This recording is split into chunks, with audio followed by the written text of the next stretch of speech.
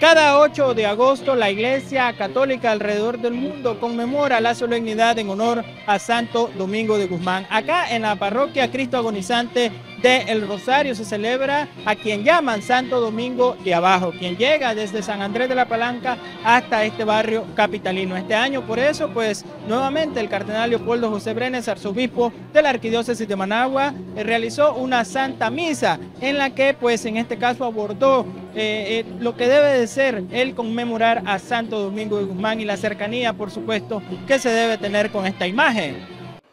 Hermoso, ¿eh? Poder hoy celebrar esta Eucaristía, poder sentir esa presencia del Señor en nuestra vida bajo la mirada orante de Santo Domingo de Guzmán.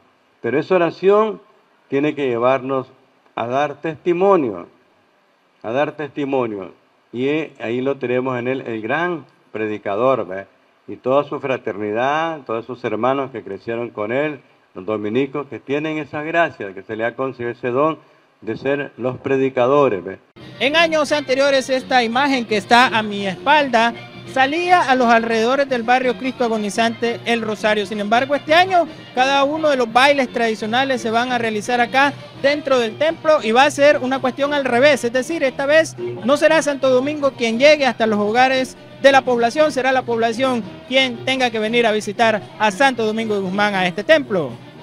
Entonces, nosotros vamos a salir una vez para el encuentro con Santo Domingo de Arriba, el día 10, cuando está volviendo a las sierritas. Entonces, pues saldremos allá a saludarlo y estaremos un ratito en el toque de las dos imágenes y después vuelve aquí.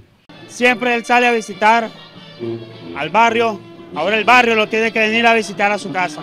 ¿Y lo está haciendo Así es. Estamos dando respuestas. Diario va a haber un rezo del Santo Rosario.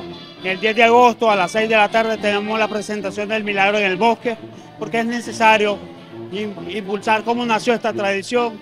Sí, fue recibido porque yo tenía cáncer y gracias a, Santo Domingo y la intercesión del Señor me ha curado. Eh, ¿Hace cuánto ya esa promesa? Eh, ya tengo 34 años de, de estar con el Santo Domingo.